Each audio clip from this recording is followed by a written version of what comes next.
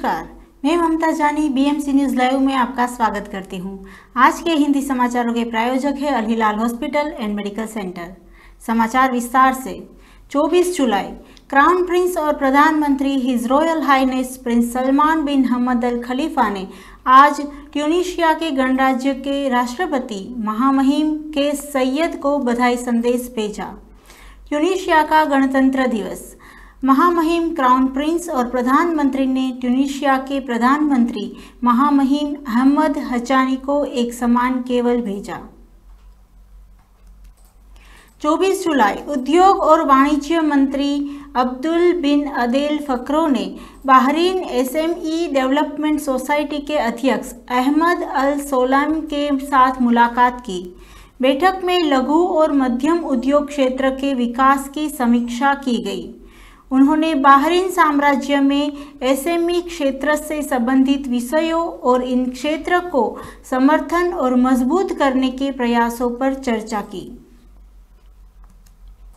बिहार में अब कोई अपराधी किसी परीक्षा का पेपर लीक करने से पहले कम से कम दस बार सोचेगा। नीतीश कुमार सरकार ने अब पेपर लीक को बेहद गंभीरता से लेते हुए एक नया कानून बना दिया है। इस कानून के तहत पेपर लीक करने वालों पर भारी जुर्माने के साथ साथ सजा भी प्रावधान है। बिहार के विधानसभा में एंटी पेपर लीक परीक्षा अनुसूचित साधन के पास हो गए। इस विधायक के पास होने के बाद अब राज्य में किसी भी परीक्षा के प्रश्न पत्र लीक करने वाली को कड़ी से कड़ी सजा मिलेगी।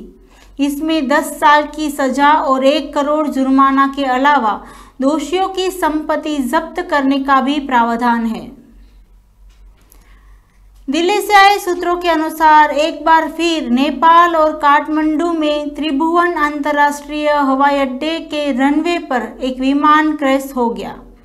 इस विमान क्रैश में 18 लोग की मौत हो गई। नेपाल में सबसे भीषण विमान हादसा साल 1992 में हुआ था, जिसमें 167 लोग की मौत हो गई थी। साल 1992 में पाकिस्तान इंटरनेशनल एयरलाइंस के एक विमान ने काठमांडू में उतारने की कोशिश की थी, लेकिन ऐसा हो नहीं सका और हादसा हो गया। त्रिभुवन एयरपोर्ट पर विमान क्रैश की एक लंबी लिस्ट है। आखिर त्रिभुवन एयरपोर्ट पर इतने विमान क्रश क्यों होते हैं? क्या त्रिभुवन एयरपोर्ट एयरपोर्ट के रनवे में कोई दिक्कत है?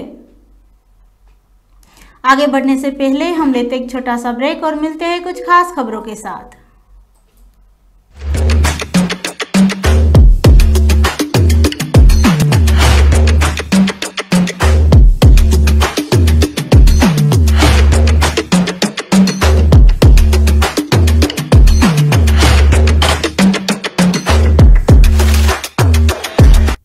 Your favorite products under one roof in Bahrain from our 14 branches at 27 year old Megamart and Macromart. Bakery.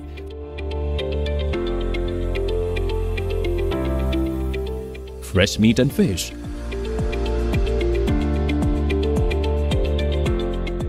Fruits and vegetables.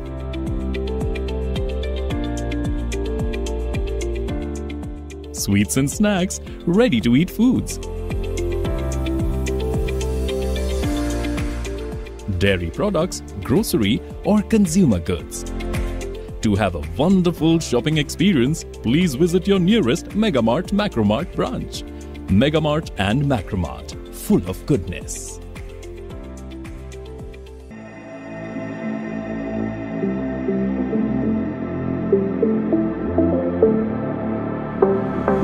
Thank.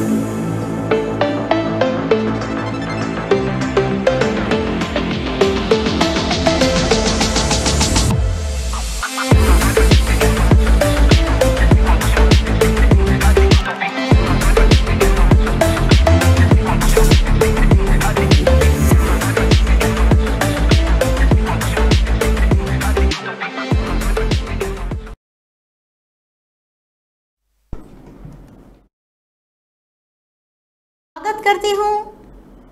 स्वागत करती हूँ एक बार फिर से बीएमसी न्यूज़ लाइव में और देखते हैं देश और दुनिया की कुछ खास खबरों की ओर।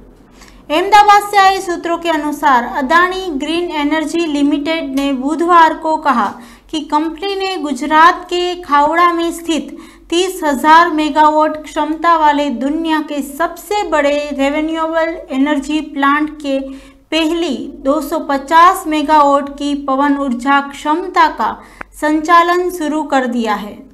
इसके साथ ही खावड़ा रेवेन्यूएबल एनर्जी प्लांट की कुल ऊर्जा उत्पादन क्षमता 2250 मेगावाट हो गई है। अदानी ग्रीन एनर्जी के पास भारत में सबसे बड़ा ऑपरेशनल रेवेन्यूएबल एनर्जी पोर्टफोलियो है जिसका आकार 11,184 मेगावाट का है। सिंगापुर 24 जुलाई, बुधवार को सोने की कीमतों में बढ़ोतरी हुई। निवेश अमेरिकी आर्थिक आंकड़ों का इंतज़ार कर रहे हैं, जो फेडरल रिज़र्व की दर कटौती के समय सीमा को प्रभावित कर सकते हैं। 0650 जीएमटी पर हालिया सोना 0.3 परसेंट बढ़कर 2416.39 डॉलर प्रति औस हो गया था। अमेरिकी सोना वायदा 0.4 परसेंट बढ़कर 2416.10 डॉलर हो गया। मनामा 24 जुलाई, मौसम विज्ञान निदेशालय ने दिन के दौरान गर्म और रात के में आमतौर पर ठीक रहने का अनुमान लगाया है।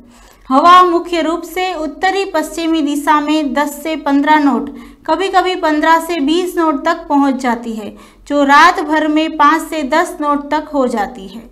समुद्र की स्थिति एक से दो फीट अंदर और तीन से पाँच फीट दूर। तापमान अधिकतम 45 सेल्सियस, न्यूनतम 32 सेल्सियस। आर्द्रता अधिकतम 70 परसेंट, न्यूनतम 10 परसेंट।